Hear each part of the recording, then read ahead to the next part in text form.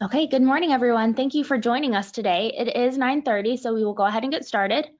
Um, I just want to thank everyone for joining us today, and we're so excited to be showing this, uh, sharing this presentation with you. So just getting started, we want to help you guys get the most out of this webinar. So we do encourage you guys to take as many notes as you can.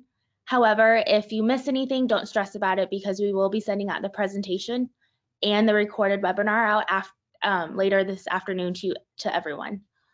If you guys need any help during this presentation, there is a little button where you can raise your hand. Um, if you click on that, that will let us know that there's something wrong and we will reach out to you directly. And then during the webinar, if you have any questions, please feel free to ask them. There is a questions tab on your control panel. If you click the down arrow, you will be able to type the questions um, we will be having a live Q&A after the webinar is over and we will answer as many questions as we can.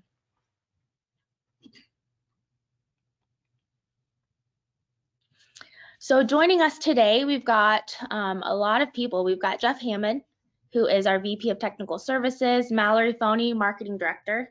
We've got Tim Wright, VP of Sales, Ed Davis, Residential Sales Manager, myself as a moderator, Steve Smith, CEO and President, Dan Jackson, VP of Operations, and Brian Staley, Assistant Product Manager. Everyone um, who you see right now will be joining us for the live uh, questions after. So if you do have any questions directed towards them, please just go ahead and type it in in the questions panel and we will get those answered. So getting started, we just wanted to give a brief agenda. We want to help set the stage for everyone to understand what's going on today and what we're wanting to present about. Um, we will go over the Advantage system that I know all of you guys are here for, as well as the product features, performance data, field installations, um, our next steps, and after that, the Q&A. And like I said, if you guys need any help during the presentation, please raise your hand and please ask as many questions as you can. So passing this over to Mallory, our marketing director. Good morning, everyone. Can you guys hear me okay? Nodding heads. All right, so um, to kick things off, just setting the stage with, you know, how we got to where we are today. Um, you guys probably know, you know, the brief history of air to water heat pumps. Um, to start out with, you know, air to air was really kind of where the focus was, but unfortunately they really struggled, those early generation did with extreme cold temperatures. Um, but luckily, advances in technologies have allowed for air source heat pumps to perform better in those cold temperatures um, and really kind of, well, not kind of, you know, really gain uh, market adoption within the US. So that's kind of looking directly at air-to-air systems. Luckily for us, those same advances have applied to air-to-water heat pumps as well. And a bit of a spoiler alert for what you guys will find out later, some of those air-to-water heat pumps include vapor injection and variable speed technology for even further advances. Carly, next slide. Sorry. Um, and then, you know, to kind of dive in a little bit more. So you know, we've kind of established that air-to-air heat pumps, you know, have really elevated the game within the US, um, but air-to-water heat pumps are very well established in Europe and China. Uh, there's a global market of about 1.7 million units sold a year within the last year. So that's anticipated to continue moving forward and uh, upward in trajectory. Right now, within the US, the only real alternative uh, prior to air to water were boilers. So there was really no good electric choice. Next slide. So you see here energy independence, um, other buzzwords like net zero, electrification, um, clean energy. These are all buzzwords that are gaining with a lot of traction right now. So, you know, and in the US specifically and in Canada and North America in general, in the world, um, people are focusing on the reduction of emissions. Um, we've gotten to slide like what seven or eight here, and uh, we haven't brought up COVID yet. But you know, no surprise with the current environment, people are really starting to focus on how does my home and building impact my health. Um, you know, things like allergies, viruses. Uh, we have listed here hypertension, um, asthma, all of those different things. You know, our environment plays a huge role in how we kind of in how we function as humans. Um, so people are already before this, you know, we're looking at how do homes and buildings impact me. And moving forward, that's even going to be a stronger indication as to how do I get into an all electric space that's clean, um, that doesn't use as much, you know, fossil fuel, So that's something that's just going to continue moving upward. Um, you couple that with the fact that many countries, states, provinces, um, you know, even down to different counties uh, within states are really working hard to eliminate climate emissions.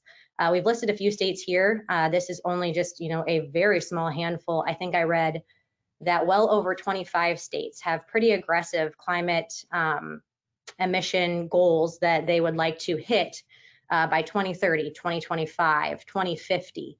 Uh, so you see here that Colorado would like to uh, lower their pollution levels by 50% by 2030. North Carolina, 40% by 2025. They don't have you know very much time to do that. Pennsylvania, 26% by 2025, and New York, 80% by 2050. This product that we're going to discuss today specifically, you know, will have a huge adoption in New York just based off of the fact that it is all electric. Um, that you know the work that NYSERDA is doing there. Uh, lots of great things coming out of that state that I think will uh, will really you know set the tone for the rest of the country and, and North America as well. Next slide. So here we dive into your opportunity. Um, you know, specifically for HVAC installers, um, for people just within the space, builders, architects, engineers, um, those who are just thought leaders with, you know, within the HVAC space, this is your chance to be on the leading edge of electrification, particularly in North America. Like I said, you know, air to water heat pumps, they're very well established in Europe, China, um, but here they haven't quite gotten that traction just yet, um, mostly because there wasn't a full service solution available. Uh, so this is, like I said, really just your opportunity to be on the leading edge of electrification of net zero living. Um, this is your opportunity to expand your expertise and gain market share before the space is flooded you know, I know uh, one of the things that I frequently would hear from customers is that when the geothermal tax credit came around, that you know a lot of installers jumped on the geothermal bandwagon. They maybe weren't as reliable. They maybe weren't as you know uh, quality, high quality of work.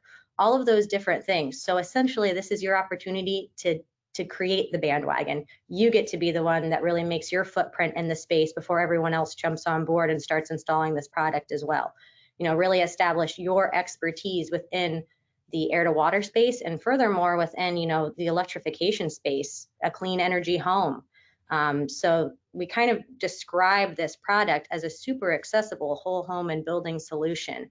You know, there are instances where other HVAC technologies won't work because of this or that, so, you know, different different ordinances, uh, different reasons, lack of space all kinds of reasons. Um, and this product could be the solution uh, to that accessible whole home and building uh, all electric solution for lack of a better term.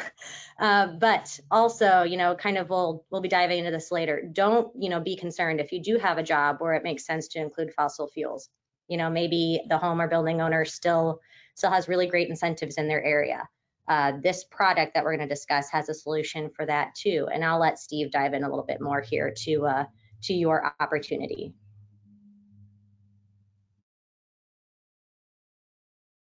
I think you might be muted, Steve. I was, thank you. Uh, appreciate that.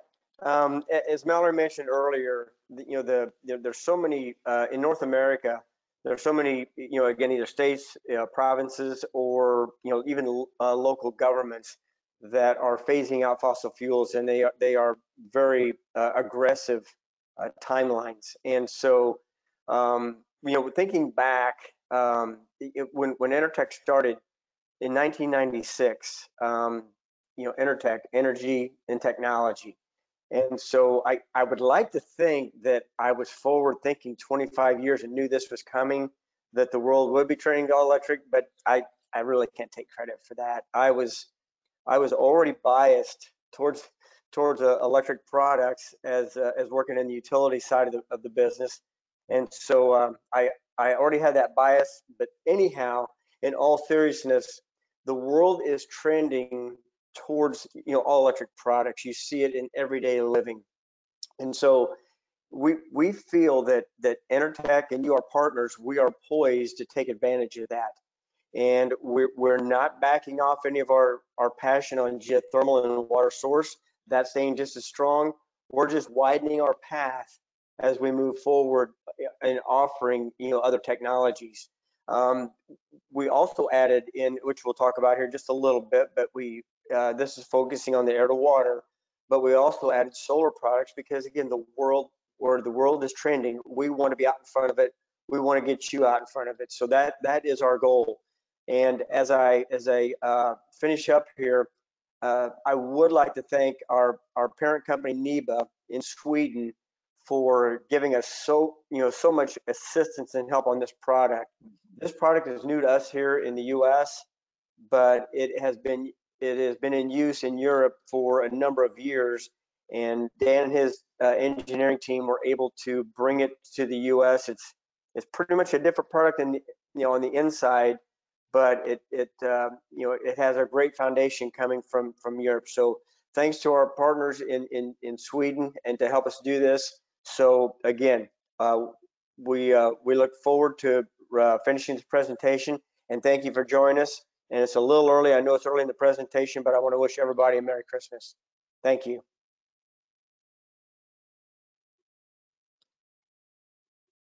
Hey, good morning, everybody. Tim Wright, Vice President of Sales. It's it's great to have you with us today. Thank you very, very much. All of our Enertech family, our Enertech friends. It's just awesome to have this opportunity. As Steve said, we're just showing you how Enertech is widening our path on how we can help head toward electrification and decarbonization. And just wanted to be able to just touch on our tagline or our, our logo, if you will, for this product. I commend our marketing team by choosing the name Advantage because really what this is, it's your advantage. It's our advantage. It's our collective advantage. So Mallory and team, awesome job for choosing that name because it signifies the, the hope that we have with electrification. So as Steve had mentioned, for our Canadian friends and customers and our US friends and customers, this is a new opportunity to really have a three-in-one product, which is absolutely amazing in this market space as we continue to head toward electrification, to head toward that net zero type community. As Steve had mentioned, solar. With this inverter driven technology, that makes it so much easier to bring in solar PV or battery storage. So just as we unfold this today for you, consider Enertech your family, consider Enertech your partner. And this product here is we're going to unpack this a little bit more with Jeff Hammond next with more of the technical aspects. I also want to highlight too that we're not leaving out our boiler friends. There's many of you on this call today or on this webinar today that still may be installing boilers. And, and again, you're, you're doing that, that's part of your profession, that's your livelihood. Jeff will share with you that we have not just brought an all electric system, we have brought a dual fuel opportunity to give you more longevity out of your boiler or how this can work in conjunction with your boiler. So Jeff will start and unpack that for us, but to have a system, a complete system, as Mallory said, that will be able to help with all of your radiant floor as well as your forced air heating and cooling so that you still can handle all your indoor air quality products. And then again, we say up to 100%. Please understand for normal usage in a home, this unit will do a beautiful job for you.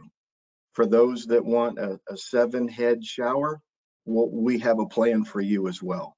And Jeff will unpack that. But thank you very much for tuning in and, and we're having fun today. This is an exciting opportunity for Enertech and again for you folks. Thank you.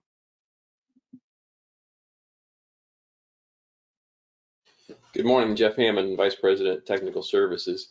We'll dig into the technical part of this product just a little bit. Feel free to ask any questions that you may have, and uh, we'll be answering those questions at the end. This slide shows all three components of the system.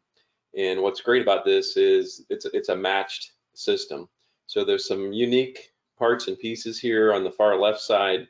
The outdoor unit, as Steve mentioned, um, this is this is really a NIBE design that we've adapted for the U.S. So the great part about that is we have a lot of R&D already done. The engineering team has done a great job of, of taking that product that's been operating for four plus years in, in Europe and uh, making it a North American product. So the outdoor unit has some special features. Uh, we're using a variable speed inverter drive compressor. So now we can operate at much lower temperatures. Uh, it's a uh, monoblock design, which means that section in the lower right-hand corner of the outdoor unit is the entire refrigeration circuit. So we're not running any uh, line sets from the outdoor to the indoor. It's much easier for installation, uh, more reliable, and, and certainly uh, a, a, quicker installation.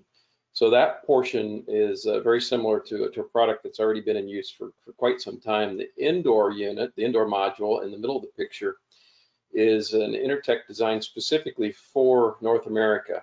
And this is a huge labor savings. I'll talk about some of the features uh, in, in the next slides, but as you can see from the picture, it has the expansion tank already installed.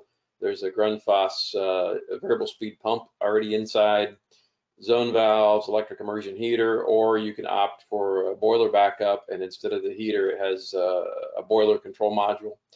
You can also see the uh, large LCD control screen. That's that's uh, what we call the HMI, human machine interface, and that's a touch screen color uh, display where you can see all of those temperatures and pressures and so forth. The control boards there uh, communicate with the outdoor unit. So this package gives you the uh, complete uh, installation and one or two days of, of labor savings just from having all that piping done. On the far right is the indirect water heater. This is a special water heater that we've been using for quite a while with heat pumps so that it's not new to the air to water technology. As you can see, that big copper coil inside the indirect is unique because it's not like a typical boiler uh, indirect water heater where the boiler water goes through the heat exchanger. In this case, the uh, load water from the heat pump is the storage portion of the water heater, and the potable water actually goes through that copper heat exchanger. So it's more like an indirect water heater. That gives us some advantages in that we can use lower water temperatures, um, which we would uh, be able to provide from the heat pump, although it can do up to 135 degree water, so it's not, not that low in that regard. But it's also our storage tank uh, when we go into defrost mode. So when we put all these three pieces together, the system now is is really a matched system. Uh, we're not trying to source parts and pieces uh, from uh, various vendors and hope that they work together because everything is communicating from indoor to outdoor. And the outdoor system, the indoor system really is is just um, uh, telling the outdoor unit what it needs. I need heating, I need cooling, and then the outdoor unit takes over and handles all the defrost um, control handles uh, switching from heating to cooling and reports back uh, all the information to the indoor module. So that's that's kind of a quick overview of the uh, components. Let's go to the next slide and look at some of the features. The monoblock design, as I mentioned earlier, that's a European term, but essentially it means everything is inside uh, a package unit. So we don't have to worry about refrigerant piping, charging, and we don't have any refrigerant inside the home that becomes more and more important over time as the industry switches to different refrigerants. That'll be even more important. So this type of a design is uh, is much more installation friendly. It also allows us to check that unit at our factory in Mitchell, South Dakota. So it gets run tested just like our geothermal heat pumps. That's a lot harder to do with a split system. Right now, at least, it's the only available package system in North America. What that means is the indoor module is is a key part of that. Um, there are other air to water units out there, but they're just the outdoor uh, the outdoor portion of it. So all of the indoor uh, piping components and so forth has to be done in the field. We think it's about one to two days of labor savings because what you end up with are just piping connections. So you're piping to the indoor unit from the outdoor. You have your piping to and from the indirect water heater and out to your hydronic zones. That's really it. Uh, you connect your manifolds and so forth. We've also included the hydronic specialties. So you could see from the picture previously, the expansion tank is included, but we ship an automatic air vent, an air separator, and then there are flush ports inside the unit, and we ship a stainless steel flex tubing for the outdoor unit. So there's not really much you need from a hydronic standpoint other than the actual um, radiant manifolds, fan coils, and so forth. The zone valves are inside that, that indoor, indoor module as well. Uh, that's a, a pretty big deal from a labor and piping standpoint. If we want to do domestic hot water, those zone valves switch from the hydronic heating or cooling over to the tank and back. So we're not messing with uh, three-way valves, uh, lots of piping. If we're looking at backup, we have a choice of either an immersion electric heater for all electric systems, or if it, we have a boiler back backup, we can go with a dual fuel module. And in that case, uh, now we're going to energize the boiler instead of that electric heater. The internal variable speed pump is, is a great feature, very, very low operating costs, and it's uh, communicating with the system as well. As I mentioned earlier, uh, the indoor and the outdoor units communicate. It's via Modbus with just three wire shielded cable. Let's go to the next slide. Uh, next slide, please. The outdoor temperature reset is a huge savings in, in uh, operating costs. There are 15 curves. So based on the outdoor temperature, we can change the minimum and the maximum load temperatures. In other words, the temperature being supplied to the hydronic zones and heating so that we can operate at the lowest temperature possible for the highest COP. When it's very cold outside, it will max out at the, the design set point, or when it's in hot water mode, it can go up to 130 degree, 135 degrees Fahrenheit to heat that hot water tank. Uh, if we're looking at uh, using forced air heating or cooling, you want to match the system with an Enertech fan coil. Those fan coils are designed for 120 degree water temperature. So we don't need, um, uh, you know, the boiler 160, 180 degree water temperatures for these fan coils. They're actually designed for the lower water temperatures we get from a heat pump.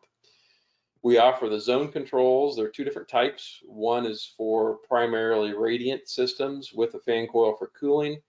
And we have another zone panel that is designed primarily for fan coils. If you have a retrofit system that's forced air, you can still get all of your hot water, but you can do the forced air heating and cooling with a fan coil or fan coils. Um, and that has a priority system, so it can actually switch back and forth between heating and cooling depending upon what zones are calling. The startup wizard is is really a nice touch. Uh, it, we found out on, on some of the early installations, it even checks to make sure your piping is not sized to uh, too small diameter. So if it doesn't have the flow rate needed, it will tell you during that startup, sorry, I can't get the flow rate that the unit needs. And in some cases, that might mean upsizing the piping. Hopefully, we've looked ahead and everybody's attended the training videos so we know up front what size piping we need. But it does check for that. The boiler backup is a fail-safe type output. So if for some reason the, the internal pump might fail, then all the zone signals get forwarded directly to the boiler. That's a nice touch. Um, you, you, never know. Anything mechanical has the potential to fail, but uh, hopefully uh, it, it, won't. We still have that protected. We'll still have have heating uh, even if a, a pump is not operating for some reason. The load shed feature is great for those areas where the dual fuel rates are attractive. In Minnesota, for example, the electric rate might be half the cost with a dual fuel setup. And so the load shed um, is set up where the utility could turn off the unit and we still have a boiler backup for heating. Uh, it also works with interruptible power programs. I sat through a California Energy Council webinar yesterday and there's a lot of discussion on uh, leveling the peaks, doing load shed, managing the uh, demand, but also managing the, uh, the renewable electricity generation. So this is uh, prime for those types of applications or retrofits where maybe they don't have 200 amp service in the home. All of the pressures, temperatures, uh, water temperatures are shown at the control screen. So from a troubleshooting standpoint, you don't have to hook up any gauges. You don't need your thermometers. You can read those right at the screen. And lastly, um, the installation manual is about 100 pages. So it has application drawings, wiring diagrams, uh, quite a lot of information in there. The idea is a complete package. So you have everything you need with those three components, as well as Enertech support for help on, uh, on designing the system. So we can go to the next slide now. And on top of all that, it's super quiet. The way that ECM fan is designed and the really, really large air coil outside, you can see here from the uh, sound waves, even when you're within about six feet from the unit, you just about can't hear that thing. there's a chart over on the right that compares those sound levels. And if you look down the scale there, a quiet library is about 30, about 40 dB. So uh, it's like being in a quiet library. The outdoor noise, traffic, whatever the case may be, is probably louder than the unit. So in this case, uh, it's going to be very, it, it, will not be disruptive at all as an outdoor unit compared to a lot of air source heat pumps. Next slide, please. Efficiencies are great. Uh, this slide shows the efficiencies from minus 13, which is where that unit can run down to and then, then shut off, all the way up into the 50s. You can see here, uh, if we have three different lines, the blue line would be our typical radiant floor uh, temperatures. They might be lower than that without their temperature reset, but just as a gauge, even at uh, minus 13, our COP is still 2.5. When you're doing domestic hot water heating, the black line, uh, even at that minimum temperature, is still around 1.8 COP. So it's literally twice as efficient, even at the coldest temperatures than an electric water heater. When we get into the uh, higher temperatures, you can see we, we have easily three to four COP and up to five even. So we want to look at bin data for each location and some slides are coming up later on so you can see that. In most cases in North America, we're going to be operating in that 5 degree to 40 degree range. That's where the bulk of our bin hours are. So you can see the COPs are going to be pretty impressive most of the year. In some areas, uh, we never get that cold even. Uh, next slide, please. Capacities are equally impressive. Uh, we take advantage of that vapor injection and variable speed scroll. So you can see the maximum capacity of this five ton unit. There's also a, a two and a half ton unit is about 55,000 BTUs per hour. As it gets colder outside, you can see even at the minimum temperature, we still have more than half the capacity. That's pretty unusual for an air-to-air -air heat pump.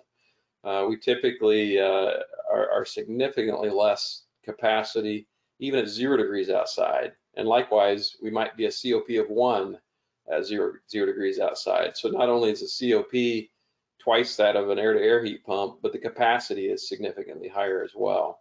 With the backup heater or the, the backup boiler, then uh, we can pretty easily handle that load even at the very cold temperatures. It'll be really important to use the software. We have the GeoAnalyst software available that we'll be talking about shortly so that we can size it appropriately and uh, look at the best size for that application. Next slide, please.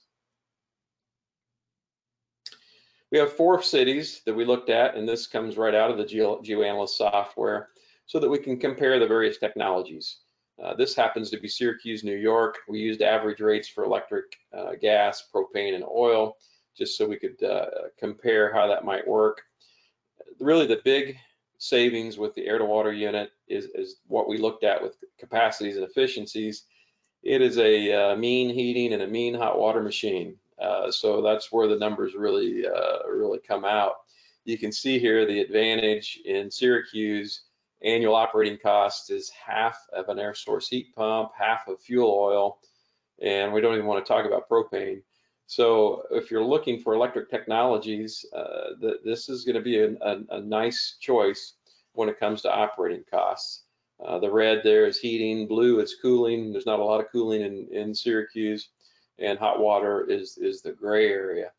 So it's definitely the lowest cost compared to these technologies. Uh, the only other electric technology uh, the 19 SEER air source heat pump shown here is still quite a bit higher than natural gas. Okay, next slide. In Quebec City, uh, electric rates are really cheap. It's, there's a lot, a lot of uh, electricity in, in uh, the province of Quebec. So this isn't terribly surprising from an operating cost standpoint, but even versus a 19 SEER air source heat pump, you can see it's it's not quite half, but it's it's a good uh, deal less expensive if we're looking at electric technologies. Again, propane and, and fuel oil, not, not even in the same uh, ballpark. Okay, next slide, please. This is Minneapolis, where gas is extremely cheap at 20-year lows, and uh, electricity is a little bit higher compared to the other areas that we've looked at so far. So if we were looking at only an electric technology, Our only other choice is that 19 SEER air-to-air heat pump, $1,000 more a year. So uh, this is the only thing that can even come close to competing with natural gas. And um, of course, this is an all-in-one system, so we still have to use natural gas for water heating. We still have to have a separate air conditioner. Uh, so one system does it all uh, with the advantage. It's, it's about the only thing, again, that can come close. Now, I didn't do a dual fuel comparison. There are areas in Minnesota with that dual fuel electric rate um, that that would change things a little bit. But since we're focusing on electric technologies and comparing apples to apples from city to city to city, I wanted to be consistent. Uh, when you um, uh, log into GeoAnalyst and play around with the numbers for your particular application, you can look at those different applications and decide, is it all electric? Is it a boiler backup? Which is the best one for my particular application? Okay, next slide, please. In Seattle, uh, we, it's quite a bit different than Minneapolis uh, from a, a, heating and cooling standpoint. So now, again, this looks like the others, Syracuse, uh, Quebec, uh, and so forth, in that uh, this is by far the lowest cost for, of operation versus natural gas, propane, fuel oil, and, and even the 19 SEER air source heat pump. Okay, next slide, please.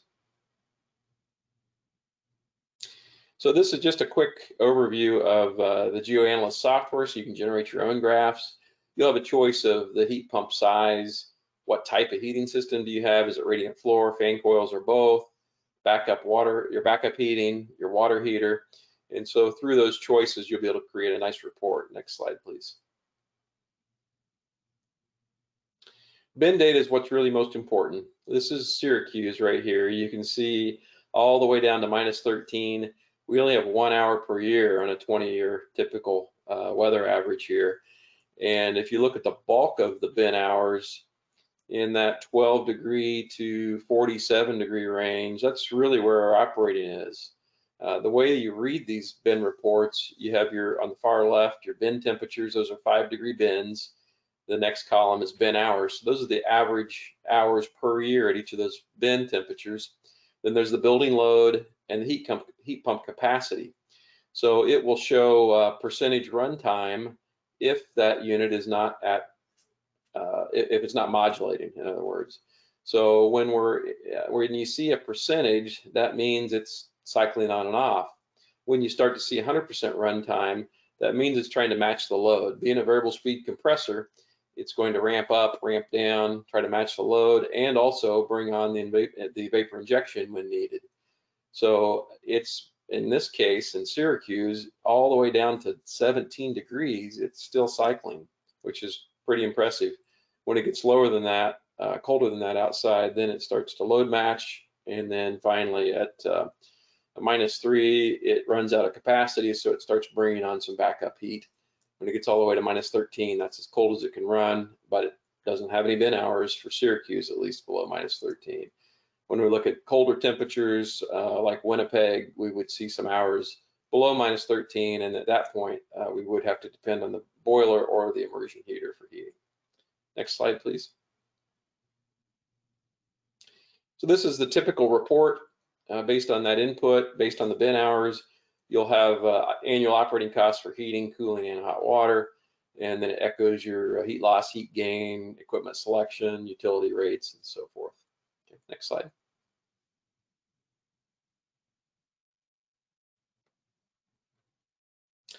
So how do we do it? Well, the key really is um, the vapor injection. If you look at the operating envelope for the vapor injection scroll versus a typical scroll, you can see we have a much, much larger operating envelope. And what's great about the vapor injection scroll compressor is it can turn on that vapor injection as needed.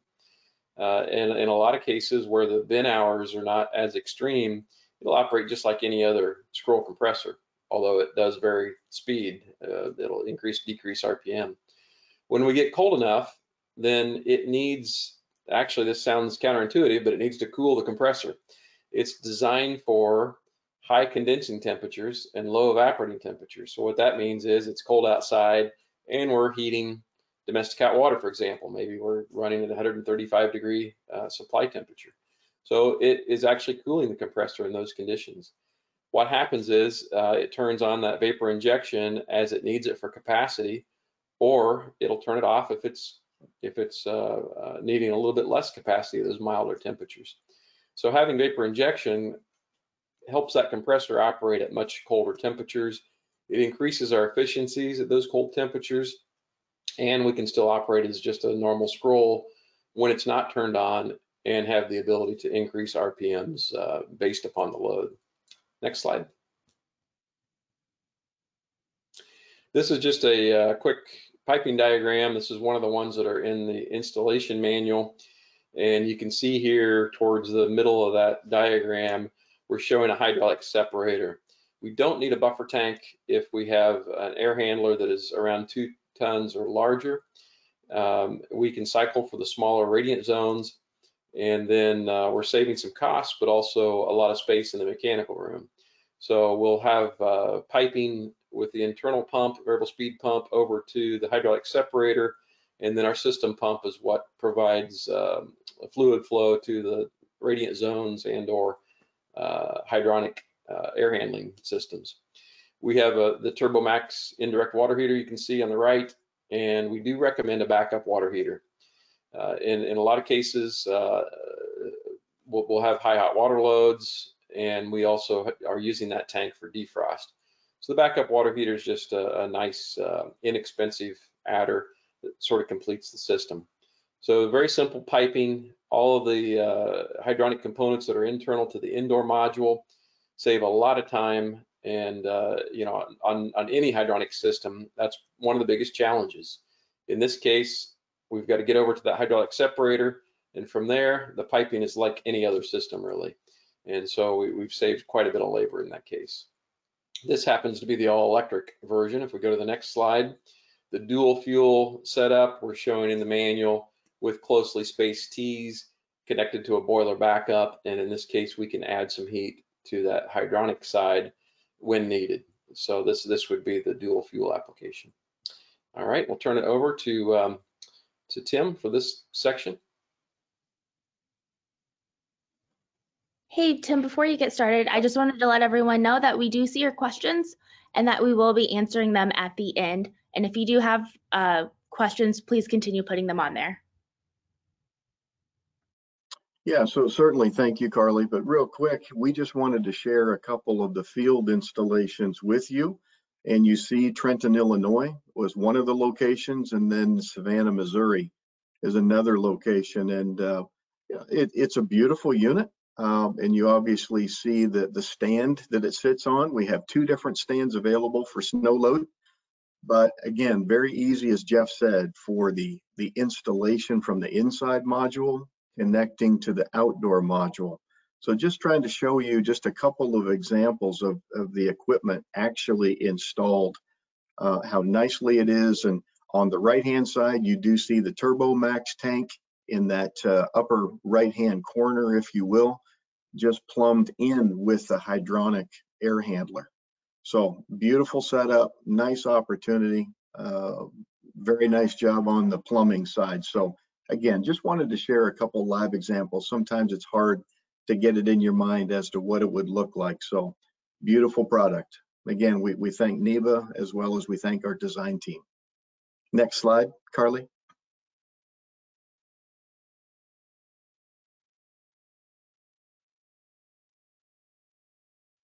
Hello there, everybody, and thank you for tuning in. Good information, Tim and everybody. Uh, next slide here will show uh, John Pendleton, who's our senior trainer. And uh, John's been in the industry for many years. He's uh, been both out in the field for numerous years, but uh, we're proud to have him here at Enertech for geez, at least five to seven years. I'm not quite sure, but it's a significant amount of time. And John just lends a great deal to this team, and we're grateful for that. But uh, his easy manner and his approach make listening to these videos a real treat. Uh, he brings home some really good knowledge. Uh, we've compiled a 10 unit video library for everyone. And at the end of each video, you will see a short quiz that will have to be, uh, be taken.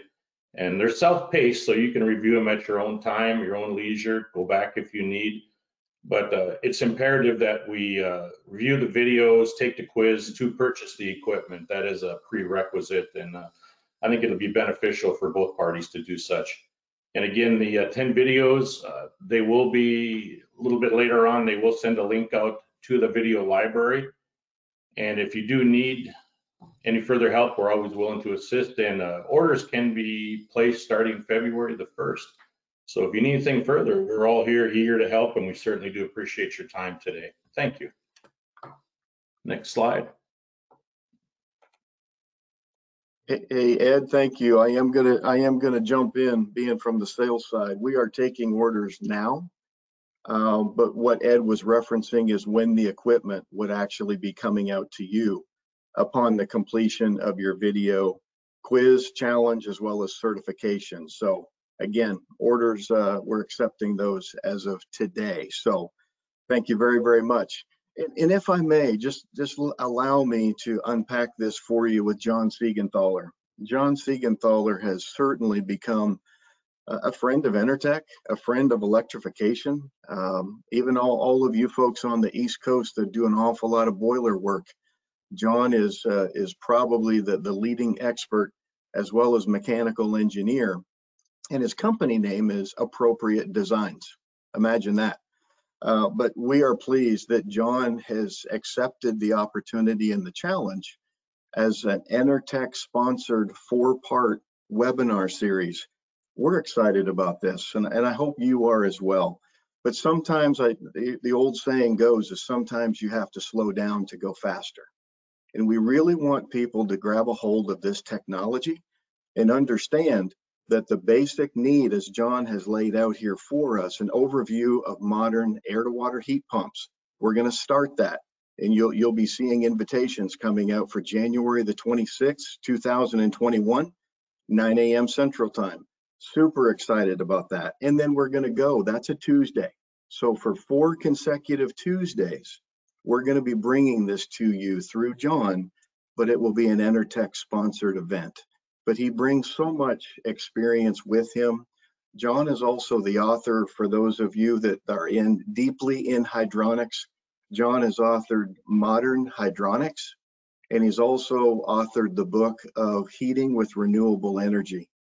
So if you haven't seen or heard of John Siegenthaler, um, you probably haven't picked up a HVAC or plumbing magazine because he's been authored about 400 times with different articles across this country. So we're so proud that, that John has offered this up as an opportunity with us. So again, very pleased, but I would encourage you to please tune in with us, spend some time with us.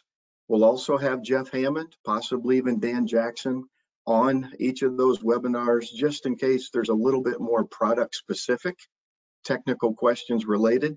And myself, I will be on there as well. So thank you again for this opportunity. We appreciate it.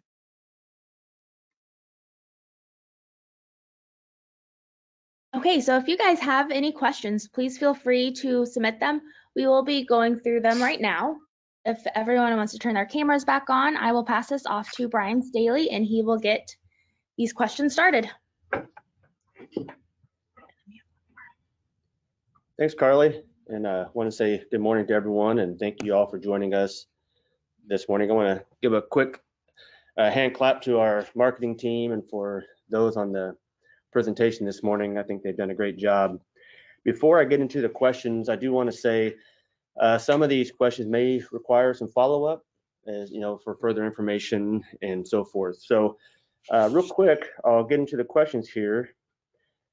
Uh, kind of a sidestep. This is a question probably for Dan Jackson, our project uh, manager, from Daniel Leary. He's uh, taking us back to February in Orlando at the show, and he's inquiring on a small air to water heat pump, 12K BTU one ton. Dan, he wants to know when that's going to be available. Um, uh, the 12K, the 12 kW heat pump is actually the 30, uh, what we call the 0- 030. So, uh, that will be available, uh, upon release. So we have two different sizes.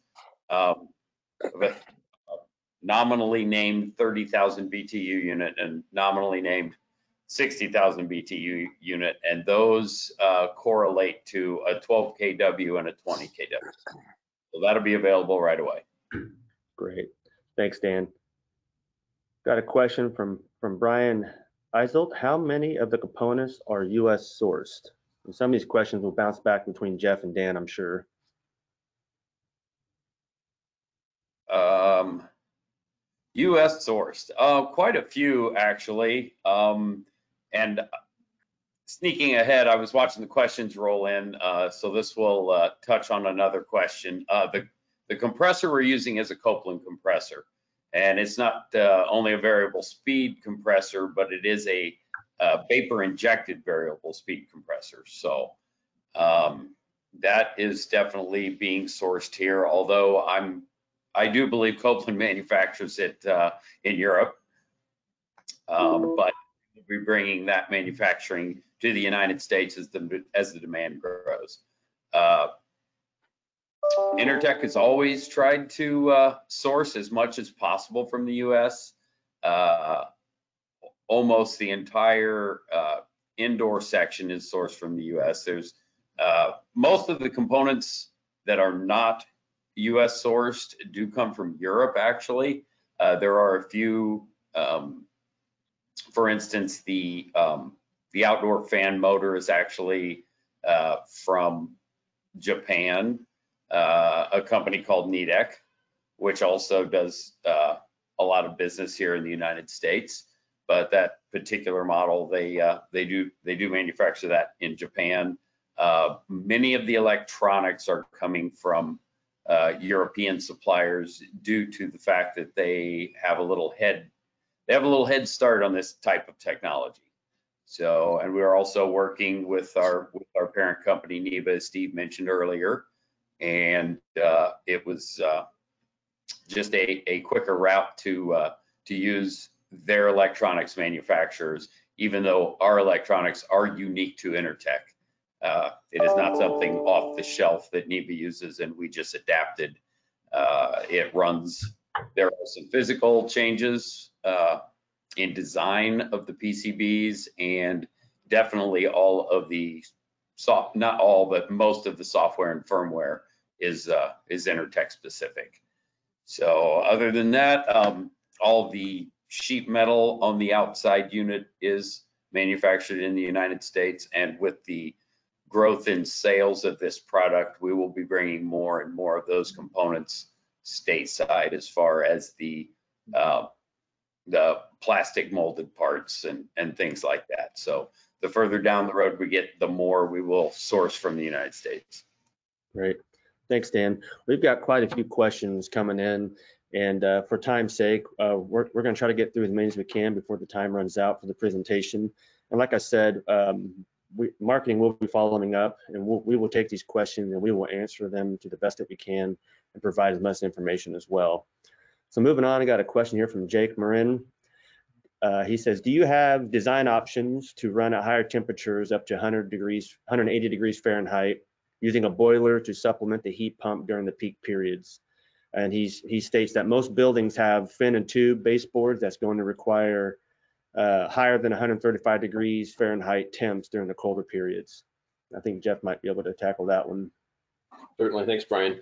Yeah, it's a great question and a good reason to attend uh, John Siegenthaler's um, seminars because uh, he'll get into that in a lot of detail. This heat pump is limited to 135 degree leaving water temperature. So we have a, a couple of choices. We could uh, go with uh, different um, emitters you know, with uh, low temperature emitters, double stack uh, baseboard or, or something to that effect, or some really nice uh, designed um, uh, radiating um, uh, devices, or we can go the backup boiler uh, route. So, so you can go either way, but the heat pump is limited to 135 degrees, and, and John will get into a lot of those details on his webinars coming up. We also have some drawings in the IOM that show boiler backup piping. Great. Thanks, Jeff. Got a few questions here asking about the presentation. Mark and we'll be following up with the link to the presentation for you guys to view at a later date. So um, you should be looking for that later this afternoon, if I'm correct, right, Carly? Okay. I got a question for Jeff. Uh, what is Jeff using for heat loss gain for his comparison of operating cost? That, that's a good question. Yeah, we used a uh, an 1,800 square foot home in each of those areas And so these are estimated heat loss, heat gain. But uh, if you're doing a manual J uh, or F280 calculation, you can add that heat loss, heat gain right into GeoAnalyst, and that will provide the operating costs as well as the uh, kilowatt hours, uh, gallons of propane, what have you. All right, great. Uh, Rob Dirksen asked, I noticed there was auxiliary heat consumption throughout the heating bin temperature ranges. What does this actually represent?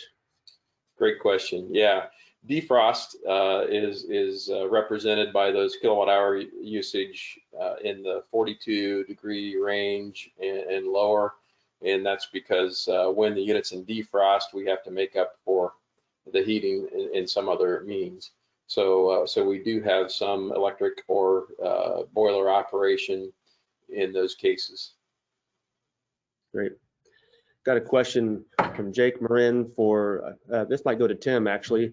Uh, do you sell product through any distribution channels, particularly in the Northeast, or do we sell direct only? Yeah, that's, that's a fantastic question. So we truly believe that this new air to water, this Advantage product will bring new distribution opportunities. So I, I welcome you to please reach out to us. Uh, it will go through some of our dealer direct opportunity channels in New York, for example, dealers that are already installing our geothermal products as well as solar PV. Uh, they'll have access to that through Enertech, but we're also certainly looking for distribution opportunities. So we welcome that. So again, please reach out. Thank you. All right. Got some questions here about tech literature and pricing. Marketing is going to be releasing some information uh, about all the all the literature that's going to be involved. Yeah, the installation manual, the submittal, and the price books all going to be referenced and where you can locate those out on our um, our branded websites or support site, wherever they may be located. So keep an eye out for some follow-ups from marketing because they're going to have some valuable information for all you guys. Brian, I'm going to jump in really quick. Just uh, do keep in mind that this is an Enertech branded product. So um, that's you know one new and additional exciting thing about this product is that it actually is branded as Enertech. So you know in the past, if you are a Hydron or GeoComfort customer, there is some some data available on those sites. But um, actually, if you head to the Enertech website, that's where you'll find all that you need to know about the Advantage system. So just kind of keep that in mind as you uh, guys, you know, search out that information. And like Brian said, we'll be sending everything out um, but that's something to just uh, kind of keep in the back of your mind. Great. Thanks, Mallory. Question for uh, Jeff or Dan. Uh, one size Turbo Max for both the two and a half and five ton? Well, there are two sizes available. There's a 45 gallon and a 65 gallon, and that's available for either the uh, 030 or the 060.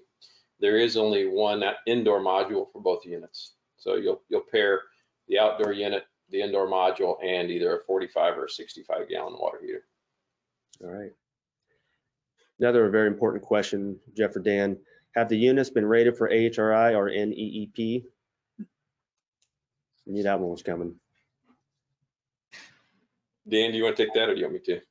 Uh, yeah, I'm sorry, Brian, could you repeat that? Yeah, uh, have the units been rated for AHRI or NEEP?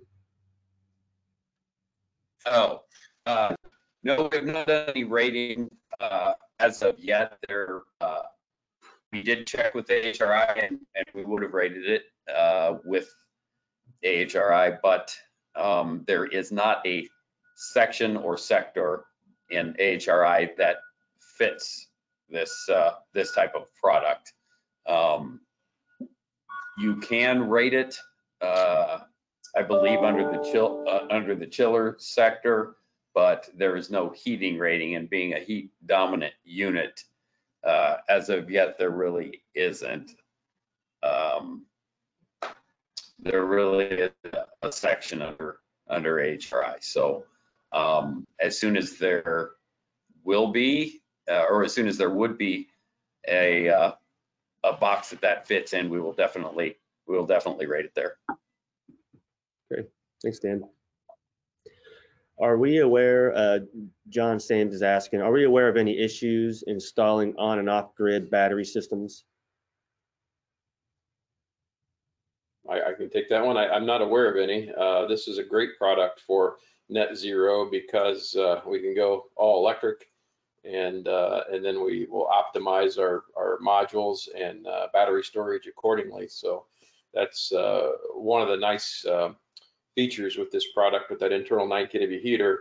Uh, we, we can help you design your solar package and uh, select the inverter and the uh, battery storage that makes the most sense.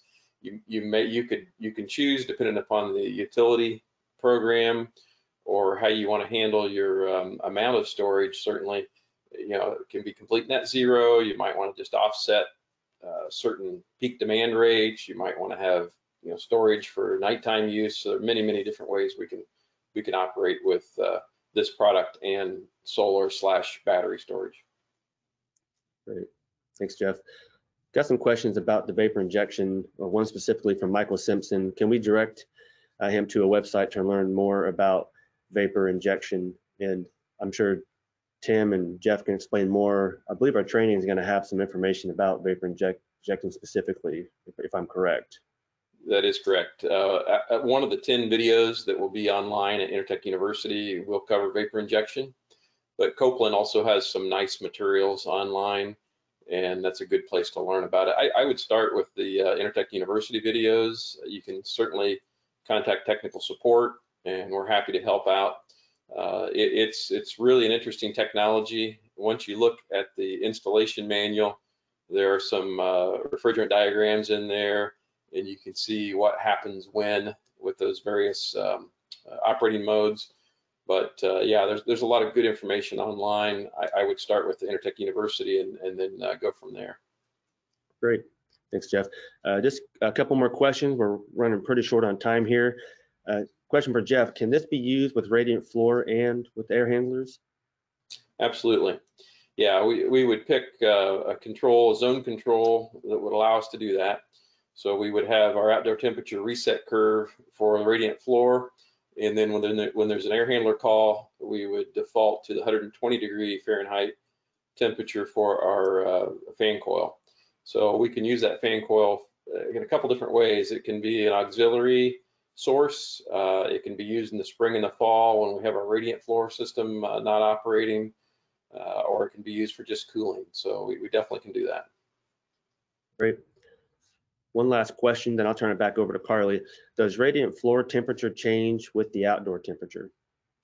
It does, and that's built in. So there's an outdoor temperature sensor already installed at the outdoor unit. The indoor module looks at uh, that outdoor temperature and it looks at the um, the settings. You set your minimum and maximum temperatures on the the indoor touchscreen, color touchscreen, and based upon your selection of uh, you know uh, your 15 different curves, it's going to change the the temperature delivered to the radiant floor based upon the outdoor temperature. It still uses a, a fixed temperature for domestic hot water and a fixed temperature for fan coils, but anytime there's a radiant zone call, then it uses the outdoor temperature reset. If you have that turned on, you certainly can turn it off. Uh, maybe, maybe you have a staple up radiant or something like that where you don't you don't want to lower the temperature. But in most cases, you will want to use that outdoor temperature reset, and that's built into the indoor module. Great. All right, well, for time's sake, we're going to go ahead and turn it back over to Carly. And any questions that were not answered, do, do apologize for that. Uh, we had quite a few come in all at once, and uh, I know everyone's interested in what's going on with the product. And uh, like I said, we will try to follow up with some further information on these particular questions. So once again, thank you all for joining us. Thanks, you know, big support and big hand clap to the team uh, for the great presentation. I'm to turn it back over to Carly. Hey everyone. So um, this will be sent to you via email. You will get the webinar recording as well as the presentation slides. If you guys have any questions, please feel free to email them in. Um, and the email will have all of your links, all of your handouts, anything that you guys would need. And then, um, like Brian said, we will reach out directly to you for the for some of the bigger questions that we did not get to. So with that being said, um, Tim, Steve, Dan, Jeff, do you guys have anything else you wanted to add? Carly, I'll just jump in. Just uh, want to thank again everybody for taking time today to spend time with us to learn about this product learn a little bit more about Enertech and our culture.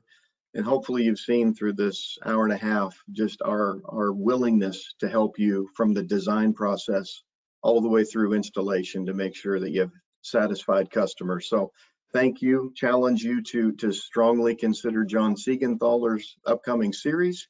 And then obviously imperatively to, to join in on the Enertech videos and make sure you've got your certification before we can allow equipment to go out the door. So very excited. A lot of distributors also, Enertech distributors want to handle this product and we'll be seeing their orders soon as well. So again, thank you. Merry Christmas and a very happy new year. Thank you.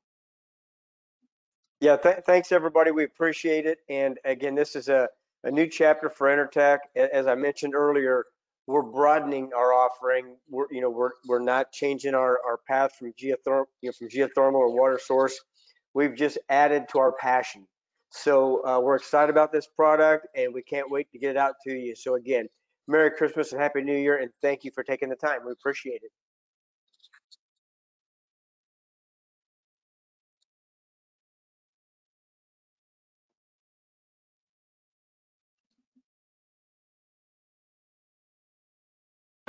Okay, with that being said, we are going, we are going to go ahead and end the presentation. Thank you, everyone. Thanks, Carly. Thanks, Carly. Bye-bye.